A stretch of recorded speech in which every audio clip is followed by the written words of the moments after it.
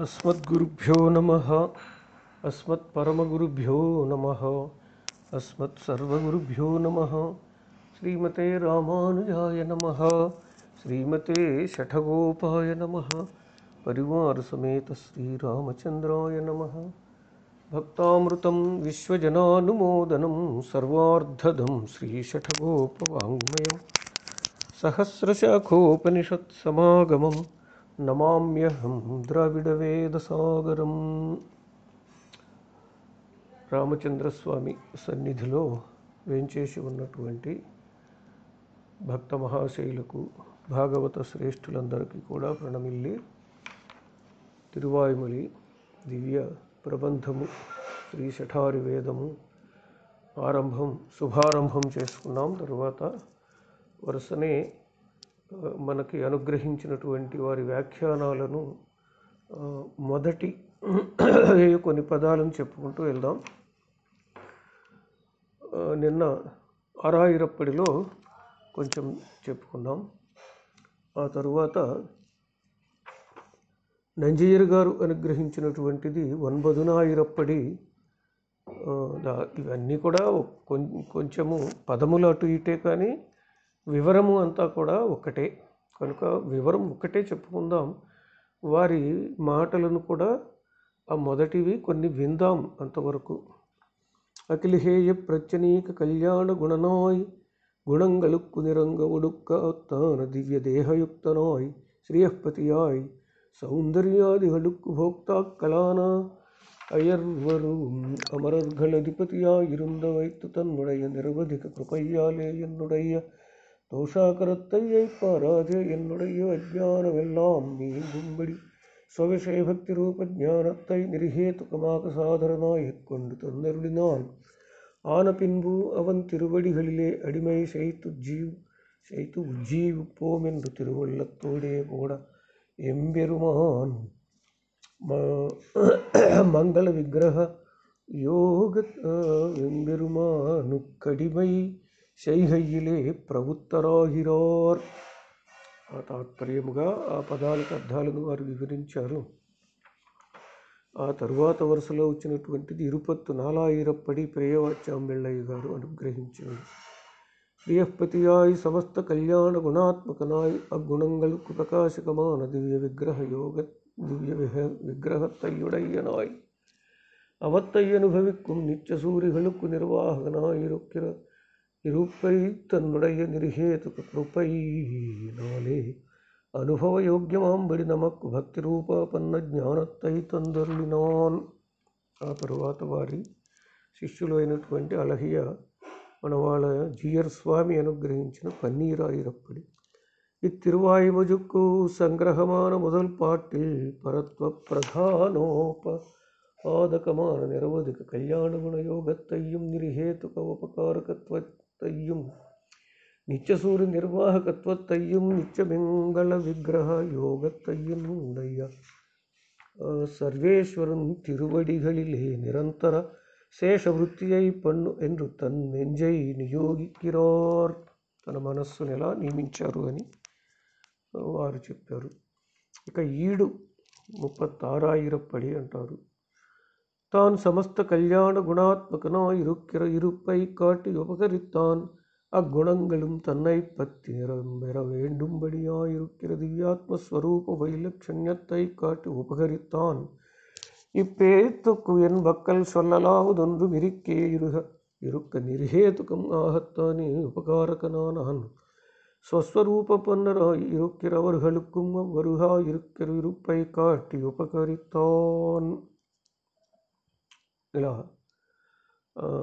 వారి వారి వ్యాఖ్యానముల్లో ఉన్నటువంటి ఆ మొదటి పదములను అలా చెప్పుకున్నాం జీయర రుంబదము இப்படி அவதரிப்பித்த பிரபந்தத்தில் పాటుకలయ్య రైవే వివరిపదాహ ఉపక్రమిక్కిరార్ మొదల్ పాటు ఇది. అంటే ఇది కూడా ఒక అరుంబదము అంటే ఈడు వ్యాఖ్యానానికి వ్యాఖ్యానము అన్నమాట.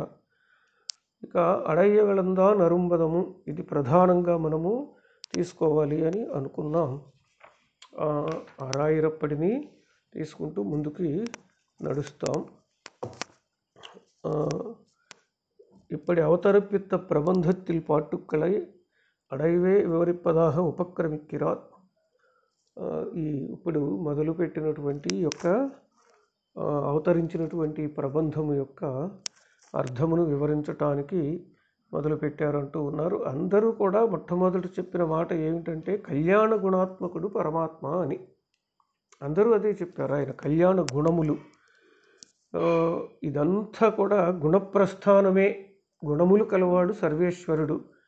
నిర్గుణుడు కాడు నిర్విశేషుడు కాడు అన్నది మొదటి నుంచి కూడా వచ్చేటటువంటిది.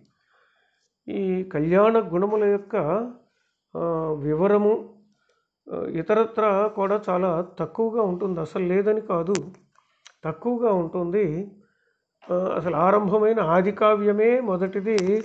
వాల్మీకి మహర్షి గుణములు కలవాడెవడంటూనే ఆరంభించాడు. కోన్వస్మిన్ సాంప్రతం లోకే గుణవాన్ కశ్చ వీర్యవాన్ ధర్మజ్ఞశ్చ కృతజ్ఞశ్చ సత్యవాక్యో దృఢవ్రత అంటూ పదహారు గుణాల పట్టిక ఇచ్చాడు ఆయన. ఆ తర్వాత ఒక ఎనభై గుణాలకు పైగా నారద మహర్షి ఇచ్చాడు. ఆ తర్వాత అయోధ్యలో నగరవాసులు ఇలా ఎక్కడ చూసినా రామాయణం అంతా కూడా ఆయన యొక్క కళ్యాణ గుణములను చెప్పినటువంటి వారే. అలా పరమాత్మ యొక్క గుణములు సమస్త కళ్యాణ గుణములు కలిగినటువంటి వాడు ఆ పరమాత్మ. ఆయన గుణముల యొక్క వివరణే భాగవతం అంతా కూడా మహాభాగవత పురాణం. మరి అది ఆ గుణముల వివరణ మహా భాగవతం. భారతంలో అది కూడా నారాయణ కథే అన్నాడు వ్యాస మహర్షి. కాకుంటే ఆయన భక్తులు అయినటువంటి వారే పాండవులు. అలా ఇంకా ఇతరత్ర చాలా వంశ చరిత్రలు ఉన్నప్పటికీ కూడా ప్రధానమైనటువంటిది నారాయణ కథనే మహర్షుల అభిప్రాయము. తర్వాత తర్వాత ఎలాగో లోకంలో చాలా వరకు రకరకాలైనటువంటి అభిప్రాయం వచ్చేసినాయి. కలియుగ మాహాత్యము ఎందరో వాటికి వసూలైపోతూ ఉన్నారు. అదంతా వారి వారి ఇష్టానుసారంగా వారికి ఉన్న గుణములు సత్వము రజస్సు తమస్సు అనే గుణముల యొక్క ప్రకోపము చేత వారు వారు వాటి వాటికి అంకితమైపోతూ ఉంటారు. ప్రధానమైనటువంటి గుణములు ఈ గుణములను తెలియజేయటమే ఈ నమాళ్ళ వారి యొక్క ఆశయం కూడా. వే ఇక్కడ వేయి పాసురములు వేయి గుణములని చెప్పారు. అలాగే ఆయన సహస్ర నామాలు కూడా వేయి గుణములనే చెబుతూ ఉన్నారు. కనుక ఇక నిర్గుణులు అనుకునేటటువంటి వారిని అనుకోనిద్దాం. వారిని వదిలేసుకుని ఆ గుణములు ఎలా చెప్పారు ఏమిటి అనేది మనము కూడా తెలుసుకుందాం. వీటిని చక్కగా అనుభవించుదాం. దీన్ని అనుభవమే అంటారు. ఇది మరి గుణములు అని అంటే అసలు ఏమిటి? అంటే ధర్మము గుణము అని అంటే దాని యొక్క ధర్మాన్ని ఆ వస్తువు యొక్క స్థితిని తెలియచేసేటటువంటిది. ప్రతిదానికి కూడా ఒక అసాధారణమైనటువంటి గుణం ఉంటుంది. ఏ వస్తువు ఏది అని నిర్ణయించాలి అని అంటే దాన్ని అభిధ అంటూ ఉంటారంటే పేర్లు పెట్టి పిలుస్తూ ఉంటారు. ఆ లోకంలో అలాంటివి కొన్ని వచ్చినాయి. అలా అది పరమాత్మ సంకల్పమేననేటటువంటిది పూర్వులందరూ కూడా అంగీకరించారు. ఈ వస్తువులకు ఆయా గుణములను బట్టి ఆయా పేర్లు వచ్చినవి అనేటటువంటిది. ఇక ఆ ప్రవర్తన ఆ శీలము తెలియచేసేటటువంటివి ప్రస్ఫుటమవుతూ ఉంటాయి వారి వర్త ప్రవర్తన ద్వారా. ఇప్పుడు సత్యము అనేటటువంటిది ఒక గుణము. అలాగే జ్ఞానము. ఇంకా ఇలాంటివి చాలా ఇవి గుణములు అని అంటే వ్యక్తి యొక్క ప్రవర్తనను బట్టి వీటిని తెలుసుకోగలుగుతాం. సత్యము అని అంటే మనకి వెంటనే గుర్తు వచ్చేది హరిశ్చంద్రుడు. మరి సత్యము అనగానే హరిశ్చంద్రుడు అని అంటే ఆ గుణము ఆయనలో ప్రకాశించింది. ఆయన గుణాన్ని ఆశ్రయించి గొప్పవాడుగా పేరు పొందాడు. అలాగే ధర్మరాజు ధర్మాన్ని ఆశ్రయించాడు. ఆయన ఏదో మరి జోదమాడాడు అని కానీ భార్యని ఇలా పణంగా పెట్టాడు. ఇలాంటివన్నీ చెబుతూ ఉంటారు. కర్మానుసారమైనటువంటివి తప్పవు. ఆయన ధర్మాన్ని తప్పలేదు. చాలామంది చాలా రకాలుగా అనుకుంటూ ఉంటారు అనుకోండి. అవన్నీ వారిని ఎవరిని కూడా లోకాన్ని మనము సరిదిద్దలేము. మనంతట మనము ఆలోచించుకుంటే ఎవరికి వారు ఏం చేయాలని అంటే ముందు ఇతరులను విమర్శించబోయే ముందు తమ ఆ పాత్రలో తామే ఉంటే ఏం చేసేవారో ఒక ఊహ. అయితే ఇప్పటి వాళ్ళది ఎలా ఉంటుందని అంటే వీరి ఆలోచనలు ఈ కాలానికి సరిపోయినట్టు ఉంటాయి. మరి ఆ కాలమో వారు ధర్మానికి ప్రాధాన్యం ఇచ్చారు. ఇక దేనికి దానికి దేది కనపడలేదు వాళ్ళకి. అలాంటివి ధర్మరాజు యొక్క ధర్మము ఆ యక్ష ప్రశ్నల దగ్గర. ఆ యక్షుడు అరణ్యవాసం చివరిలో వారేదో నీరు తాగి పడిపోవటము ఆ తర్వాత అందరూ పడిపోయిన తర్వాత ధర్మరాజు వెళ్ళటము ఆయన ప్రశ్నలకి ఈయన సమాధానం ఇచ్చిన తర్వాత నీకు ఒక ఒకళ్ళ నిష్ట కోరుకోమంటే నకులుడిని ఈమెని అడిగాడు ఆయన. దేమిటయ్యా భీమార్జనులు ఉన్నారు మీకు రాబోయేది యుద్ధము. ఆ యుద్ధంలో ఏం చేస్తాడు నీకు ఈ నకులుడు? ఆ బోలెకు ఈ బోలె సలాం అన్నట్టుగా ఎందుకు కోరావు అని అంటే అది కాదు స్వామి ఆ యుద్ధమో రణమో అది దేవుడు ఎరుగయ్యా. మా తండ్రికి ఇద్దరు భార్యలు ఉన్నారు కుంతి మాద్రి. కుంతి సంతతికి పెద్దవాడిని నేను ఇలా ఉన్నా. మాద్రి సంతతిలో ఇతడు పెద్దవాడు నకులుడు. ఇద్దరు తల్లుల సంతానాలు ఈ భూమి మీద ఉంటాయి. అందుకు కోరే ఆ తర్వాత దైవం ఉంటాడు దేన్ని చేసుకుంటాడు అని. అప్పుడు బలి బలి రాజా నిన్ను ధర్మమూర్తి అనొచ్చు అన్నాడు యమధర్మరాజు. అలా ఒక్కొక్కరు ఒక్కొక్కళ్ళకి తెలుస్తూ ఉంటాయి. మరికొందరికి అలా ఏదో మూతబడిపోతూ ఉంటాయి. రకరకాల భావాలను తీసేద్దాం. ఇలా గుణాలు బట్టి వ్యక్తులు ప్రకాశించారు. మరి పరమాత్మ కూడా ఇంతేనా అండి? ఈ గుణాలను బట్టే ఆయనకి గౌరవం వస్తుందా? ఇప్పుడు వాళ్ళు ఏదో నిర్విశేషము నిర్గుణం అన్నంత మాత్రాన మరి ఇది పోయిందా అని అంటే అలా కాదట. పరమాత్మ విషయంలో కాదు. ఇవి ఎలాగు అని అంటే చెప్తూ ఉన్నారు. వరదరాజస్తవములో కూరత్తాళ్వాను వారు అనుగ్రహించినటువంటి ఒక శ్లోకాన్ని అందిస్తూ ఉన్నారు ఈ అరుంబదములో ఎటువంటివి గుణములు అని అంటే గుణాయత్తం లోకే గుణుషుహిమతం మంగళపదం విపర్యస్తం హస్తి క్షితిధరపతే తత్వయి పునః. గుణా సత్యజ్ఞాన ప్రభృతయవుత త్వద్గతతయ శుభీభూయం యాత ఇతి నిర్ణయష్మ శృతిమశ శృతివశాతు. ఏ స్వామి? హస్తిక్షితిధరపతే వరదరాజా లోకంలో ఈ గుణములు అనేటటువంటి వాటిని ఆశ్రయించి గొప్పవారుగా లోకము చెప్పుకుంటూ ఉంటారు. లోకంలో ఈ గుణములు కలవారు గొప్పవారు అన్నట్టు.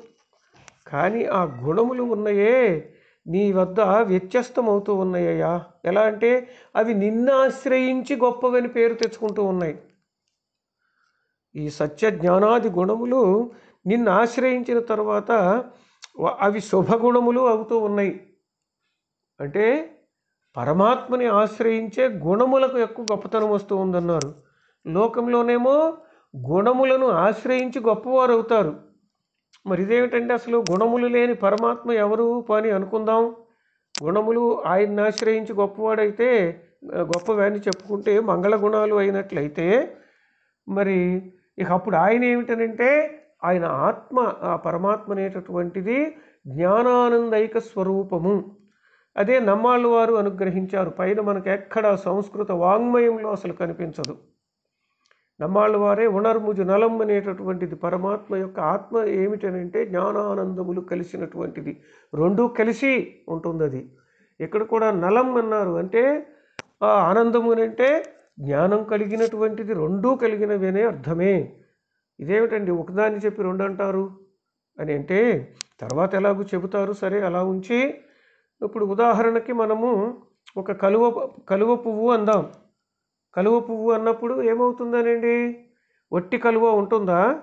అది నల్ల కలువో తెల్ల కలువో ఎర్ర కలువో ఏదో ఒకటి కదా?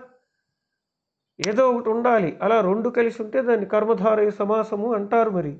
ఒకటి విశేషణము ఒకటి విశేష్యము. అలా ఇక్కడ ఆనందాన్ని చెప్పిన ఆ రెండు కలిసి ఉండే కనుక పరమాత్మ విషయంలో మాత్రమే ఇది రెండు కలిసి ఉంటాయి.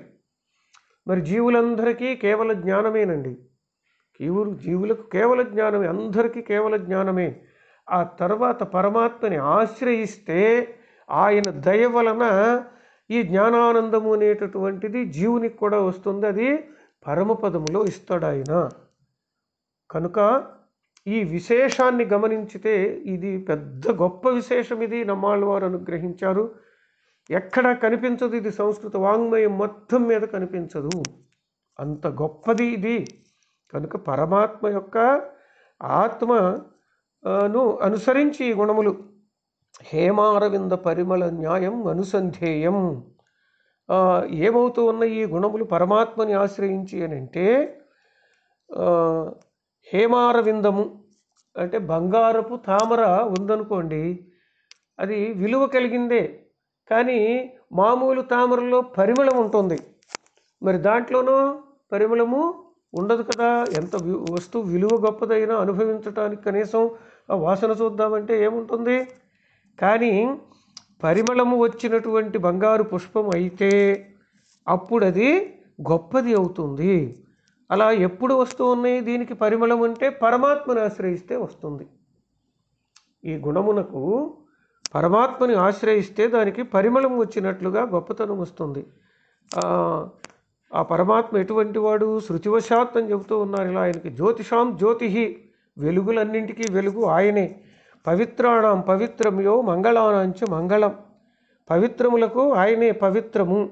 లోకంలో ఏది గొప్ప పవిత్రం చేస్తూ ఉన్నది అని చెబుతూ ఉంటే నీటిని పవిత్రం అంటారు ప్రతిదాన్ని శుద్ధి చేయటానికి నీరే చల్లుతారు. కొంతమంది నిప్పును కూడా నీటితో కడుగుతారంటారు. అంత శుద్ధి కలవాళ్ళు అంటుంటారు.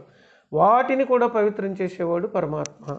మంగళములు అని అయితే ఆ వాటికి కూడా మంగళాలకు కూడా మంగళమైన వాడు అని అంటూ భీష్మ పితామహుడు ఆ విష్ణు సహస్రనామంలో చెప్పాడు ఆయన.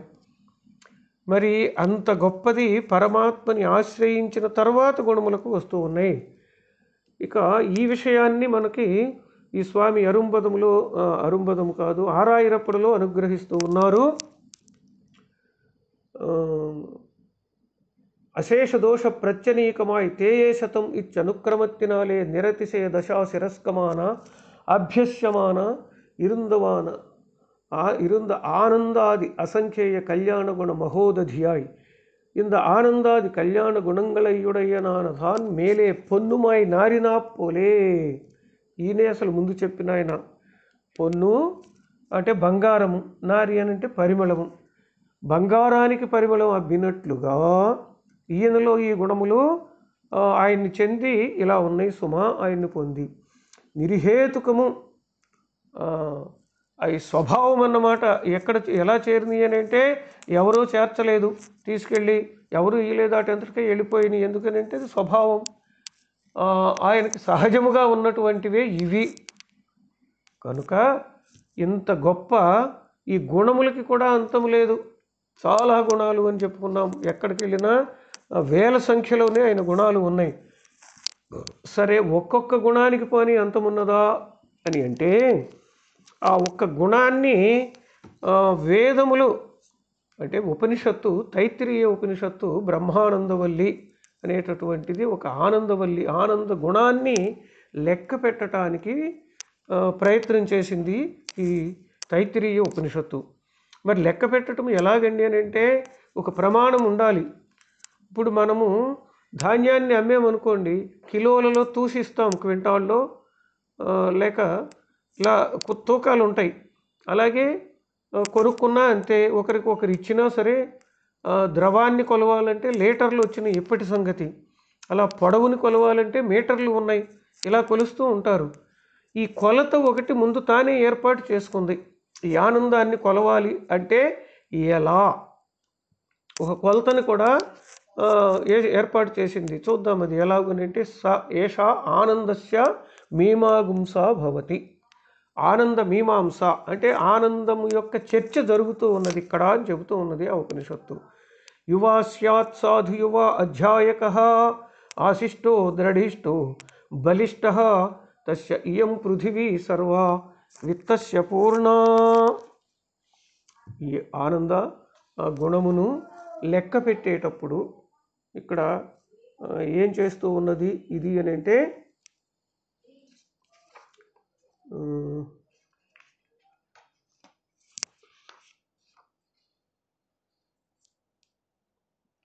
ఒక యువ స్యాత్ సాధు యువ ఆనందమును అనుభవించేటప్పుడు ఒక వ్యక్తిని తీసుకున్నది ఒక మనిషిని తీసుకున్నది. అతడు ఎలాగు అని అంటే యువకుడై ఉండాలి. ముసలివాడైతే మళ్ళీ అన్ని అవయవాలు పనిచేయలేవు. ఆ యువ అనేటటువంటిది పంచవింశతి వార్షిక ఒక ఇరవై ఐదు సంవత్సరాల వయస్సు. అప్పుడు పూర్తిగా అన్నీ ఇతడికి పరిపూర్ణంగా మనస్సు ఇంద్రియాలు అన్నీ వస్తాయి జ్ఞానము అన్నీ వచ్చేసి ఇతడు అన్నింటినీ తెలుసుకోగలిగిన స్థితి వస్తుంటుంది.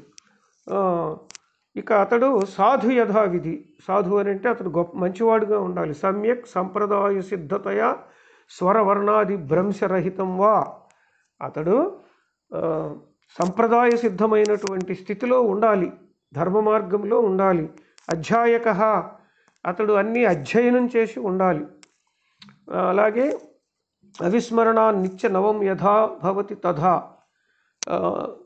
మరిచిపోకుండా ఉండాలి. తెలుసుకున్నదంతా కూడా వేదం కావచ్చు జ్ఞానం కావచ్చు మొత్తం అంతా కూడా మరిచిపోకుండా ఉండాలి. స్వసమవయస్కానం సర్వేషాం అధ్యాయక. తమ వయస్సులో తమతో పాటు చదివిన వారి అందరికంటే కూడా అతడు గొప్పవాడై ఉండాలి. అంటే ఆ స్టేట్ ఫస్ట్ లాగా ప్రపంచానికే ఫస్ట్ అయి ఉండాలి అన్నమాట చదువులో.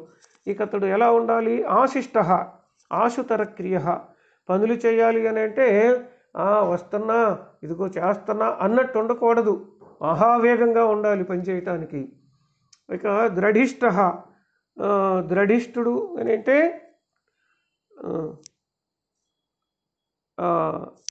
ఆసుతర క్రియ అశనక్షమ ఆరోగ్యం కలవాడై ఉండాలి. బా ఎంత తిన్నా సరే అది జీర్ణం చేసుకునేటటువంటి వాడై ఉండాలి. అన్నీ తినగలిగి ఉండాలట. ఏది ఉప్పు పులుపు చేదు కారం అన్ని రుచులు కూడా మరి షుగర్ ఉందంటే తీపి పనికిరాదు బీపీ ఉందంటే ఉప్పు పనికిరాదు అంటాం కుదరదు. అతడు ఆరోగ్యవంతుడై ఉండాలి. అలాగే బలిష్ట మనస్సు కూడా బలంగా ఉండాలి శరీరము బలంగా ఉండాలి దృఢతరుడై ఉండాలి. విత్తస్య పూర్ణ ఇతడికి సంపదలు కలిగి ఉండాలి. అప్పడగటము ఇలాంటివి ఏమీ ఉండకూడదు. పూర్ణ పూర్ణ గుణ మహితార్థ స తు- అవ్యయతవ్య ఇలా అంతా కలిగి ఉండాలి. ఆ తరువాత అతడు మరలా ఎలా ఉండాలంటే అతడు పృథివీ ఈ భూమి మొత్తానికి అధిపతి అయి ఉండాలి. ఎందుకనంటే మరి అతడిని ఎవడు కూడా శాసించడానికి వీల్లేదు. అతడే శాసకుడై ఉండాలి. శాసనానికి లోబడితే ఒక అవధ్యం ఒక కొరత వస్తుంది. ఇలా ఉన్నప్పుడు మరీ ఇంకా కష్టం ఏంటనంటే ఇప్పుడు ఏదైనా ఒక ఎకరం ఉన్నవాడికి ఏదన్నా గాలివాన్ వచ్చినప్పుడు ఆడికి ఎకరం పోతే వంద ఎకరాల ఆడికి వంద పోతుంది. వాడిని చూసి ఆనందపడుతూ ఉంటాడు. కనుక అలా కాదట. సర్వపూర్ణ మొత్తం అంతా కూడా సర్వ సంపత్ సమృద్ధి మొత్తమై ఉండాలి. అదిగో అటువంటి ఒక మనిషిని తీసుకుంటే ఇది ఒక కొలత అన్నమాట. సయేవ ఏకో మానుష ఆనంద. ఇది ఒక మనుష్యుడి ఆనందము. ఇది ఒక కొలత. ఏదో ఒక అడుగో ఒక అంగుళమో అన్నట్లుగా ఈ మనుష్య ఆనందానికి ఇన్ని ఇచ్చింది. ఈ విశేషణాలు కొలతకి ఇచ్చింది ఇట్లాంటి వాడు ఉండొచ్చు ఉండకపోవచ్చు. అది వేరే సంగతి. ఇక్కడి నుంచి మొదలుపెట్టింది. తే ఏ శతం మానుష ఆనందా సయేకో మనుష్య గంధర్వాణామానంద ఇక ఈ ఇట్లాంటివి వందైతే ఒక మనుష్య గంధర్వుని ఆనందమట. ఆ మనుష్య గంధర్వుని ఆనందములు ఒక వందైతే దేవగంధర్వ ఆనందమట. ఆ దేవగంధర్వ ఆనందములు ఒక వంద అయితే పితృలోక ఆనందమట. ఆ పితృదే ఆనందము. ఆ పితృవుల ఆనందము ఒక వంద అయితే ఆజాన దేవత ఆనందమట. ఆజాన దేవతల ఆనందం ఒక వంద అయితే ఒక దేవానందము. ఒక దేవానంద వంద దేవానందములు ఒక ఇంద్రుని ఆనందము. వంద ఇంద్రుల ఆనందము ఒక బృహస్పతి ఆనందము. ఒక వంద బృహస్పతుల ఆనందము ఒక ప్రజాపతి ఆనందము. మరి వంద ప్రజాపతుల ఆనందము ఒక చతుర్ముఖ బ్రహ్మానందము. మరి వీళ్ళు ఎవరైనా అసలు ఇక్కడ ఉన్నారా లేరా అంటే ఉంటారు ఎక్కడో ఎలాగనంటే ఇప్పుడు లెక్కల్లోనూ మరి ఉన్నాయి కదా నువ్వు ఎక్స్ అనుకోని మొదలు పెడుతున్నావు. ఎవడున్నాడు ఎక్స్ ఎక్స్గా ఉండడు కదా తర్వాత ఎవడో వస్తాడు అలా ఈ లోకాల్లో ఉండొచ్చు. లెక్క ఇచ్చింది నీకు. ఇలా ఒక లెక్క ఒక కొలతను ఏర్పాటు చేసింది వేదం తైత్రి ఉపనిషత్తు. ఇలా ఏర్పాటు చేసి ఏం చేసిందని అంటే వంద వంద రెట్లు పెంచుకుంటూ ఒక మనిషి అతనికి వంద అని అంటే ఒక రెండు సున్నాలు పెడదాం. ఒకటి పక్కన రెండు సున్నాలు. వంద కదా? ఇలా వెళ్తే ఒక పది అంతరాలు చెప్పిందండి. పది రెండు ఇరవై సున్నాలు పెట్టుకోండి ఒకటి పక్కన. ఆ ఇరవై సున్నాలు పెడితే ఎంతో? అంత చతుర్ముఖ బ్రహ్మానందం వచ్చే సంఖ్య చూసుకోండి. ఆ చతుర్ముఖ బ్రహ్మానందమును పరమాత్మ ఆనందము దగ్గర ఇక కొలవాలి భాగారం చేయాలి అని అంటే అది ఎన్నిసార్లు పోతుందో చూడాలిగా దాంట్లో. ఇక్కడంటే వంద మందికి దొరికినవి ఇవి అది అసలు అపారంగా ఉన్నదట. అపారంగా ఉండేటప్పటికీ దాంట్లో భాగించటానికి దీనికి చాలటల్లా ఈ సంఖ్య. వేదం ఇక్కడతో ఆగిపోతే దీనికి మన యామునాచార్య స్వామివారు ఇక్కడ ఆయన ఇంకొక లెక్కను చూపించారు. ఎలాగునంటే ఉపరి ఉపరి అబ్జభువోపి పూరుషాన్ ప్రకల్ప్య తేయే శతమిత్యనుక్రమాతు గిరహ త్వదేకైక గుణావధిప్సయ సదాస్థిత న ఉద్యమత అతిశేరతే ఇక్కడ ఏం చేసింది వేదము అని అంటే ఇక్కడ అందకపోయేటప్పటికీ దీనిని పెంచాలి అనుకున్నది విలువ ఏది? ఈ లెక్కకి విలువ. ఇప్పుడు ఆ చతుర్ముఖ బ్రహ్మని తీసుకొచ్చి ఈ అబ్జభువుడిని ఒక పురుషుడు అన్నది. అంటే ఒక మనిషి ఆనందము. అంటే ఇప్పుడు ఒక మనిషి ఆనందము అన్నప్పుడు ఇంతకుముందు చెప్పినటువంటిది ఒక్కటి కాదు. ఆ పది పక్కని ఇరవై సున్నాలు పెడితే ఎంత సంఖ్య వస్తుందో ఇప్పుడు ఆ ఒకటి విలువ అంత పెంచింది లెక్కకి. పెంచి మళ్ళీ భాగించడానికి చూసింది మళ్ళీ అందల. ఈసారి వాడిని తీసుకొచ్చి ఆ చతుర్ముఖ బ్రహ్మ అంతకు ముందు బ్రహ్మ కంటే ఇతడు ఇంకా ఎక్కువ అన్నమాట. మళ్ళీ తీసుకొచ్చి ఎక్కడ పెట్టింది? ఇంకా అందల. ఇలా గిరహ ఈ వేదములు త్వదేకైక గుణావధి నీ యొక్క ఆనంద గుణము యొక్క అవధి అంటే చివర ఎక్కడో తెలుసుకోవాలి అని భాగించుకుంటూ అది భాగించుదామని ప్రయత్నం చేస్తే ఎక్కడి వరకు చేయగలిగింది కానీ అక్కడ నుంచి అందలేదయ్యా. కనుకప్పుడు ఇలా వెళ్ళి వెళ్ళి వెళ్ళి లెక్కేసుకున్నా సరే ఏదో కాళ్ళు నొప్పులో ఏదో అంటుంటారు కాళ్ళు పీకిపోయినాయి అని. పోగా పోగా పైపంచే బరువు అయిందన్నట్టు ఎన్నో సామెతలు ఉన్నాయి. ఎంత దూరము వేదములే వెళ్ళినా కూడా వేద ఋషులు కావచ్చు వేదములేనంటే అపాంతర తముడు అంటారు ఆయన కావచ్చు ఎవరైనా సరే. ఎందుకనంటే అది అనంతము. ఎతో వాచో నివర్తంతే అప్రాప్య మనసా సహా. మనసా సహా మనస్సుతో అంటే జ్ఞానముతో సహా ప్రయత్నం చేసింది వేదము. వేద జ్ఞానముతో ప్రయత్నము చేసినా కూడా అప్రాప్య పొందలేకపోయింది. కనుక పరమాత్మ యొక్క ఒక్క ఆనందమే అనే గుణమునే ఈ అందుకోలేకపోయినాయి సుమా. కనుక అటువంటి ఆనంద గుణము అది ఏమాత్రము శ్రమ పడకుండా ఆయన ఎందు ఉన్నది. ఆయన ఆత్మ అదే జ్ఞానము ఆనందము రెండూ కలిసినటువంటిది. అటువంటి ఆయన మరి ఏం చేశారండి అంటే అటువంటి గుణములు కలిగినటువంటి ఆయన నిర్హేతుకముగా ఆ, అజ్ఞాన దొరుపడి తన్నయుల్లపడి అరువిత్తు అజ్ఞానము అనేటటువంటిది ఏమాత్రము లేకుండా నమ్మాళ్ళు వారికి ఆయన మరపు రానటువంటి భక్తి రూప ఆపన్న జ్ఞానమును ఆయన అనుగ్రహించారు. దాన్ని అనుగ్రహించారు కనుకనే ఇప్పుడు ఆయన చెబుతూ ఉన్నారు ఇక. ఇది మరి పరమాత్మ సంగతి ఇంత దుర్ఘటంగా ఉన్నాయి కదండి వేదాలకు కూడా అని అంటే మరి ఈయన ఏం చెబుతాడండి మరి? వేదాలకు కూడా అందనటువంటి ఆయన గురించి ఏం చెబుతాడు అని అంటే ఆయనగా అయితే మనము ప్రయత్నం చేస్తే అందడు కానీ ఆయన దయ కలిగితేనో అతి సులభంగా అందుతాడు. దయ కలి పరమాత్మకి దయ కలిగితే అందుతాడు. అదే మాట ఆయన దయతో అనుగ్రహించాడు. ఏది? మరపురేనటువంటి భక్తి రూప ఆపన్న జ్ఞానమును ఇచ్చాడు సుమా మనకు. ఓ మనసా అని ఆయన మనస్సుని సంబోధన చేసి చెప్తూ ఉన్నాడు. సరే ఇక్కడికి మనం ఆగుదాం. ఈరోజు ఇక రేపటి నుంచి ఇంకా తెలుసుకుంటూ ఉందాం. ఎంత అవసరమో అంత చెప్పుకుంటూ ముందుకు వెళ్దాం. జై రామానుజ జై శ్రీ శఠారి వేదం జై శ్రీరామ్.